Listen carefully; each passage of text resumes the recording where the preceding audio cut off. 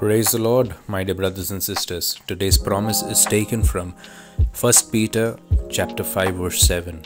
Cast all your anxiety on him because he cares for you.